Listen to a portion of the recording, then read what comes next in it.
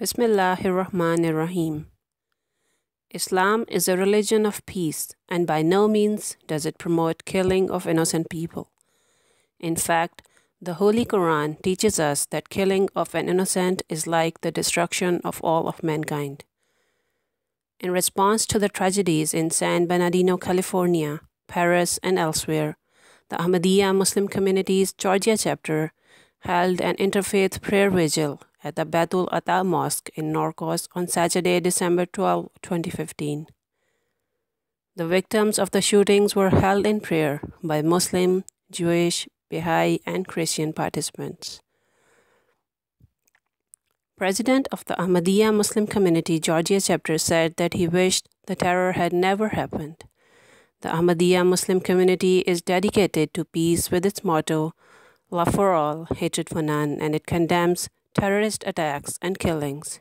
He reiterated the stance of Ahmadiyya Muslim community and promised that should any signs of radicalization or extremism ever be seen, they would be reported to authorities.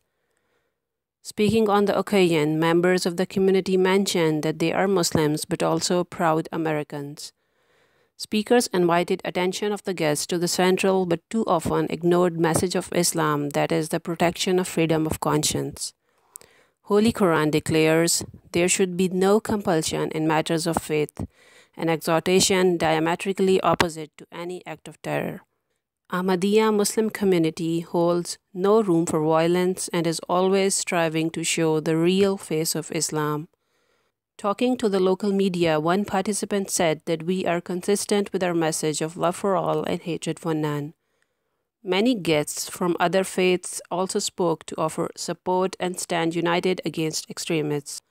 In the end, a question and answer period drew questions and comments. The local Ahmadiyya Muslim community was thanked for engaging with the mainstream and inviting people to come and better understand true Islam. Shayla Ahmed, MTA News, USA.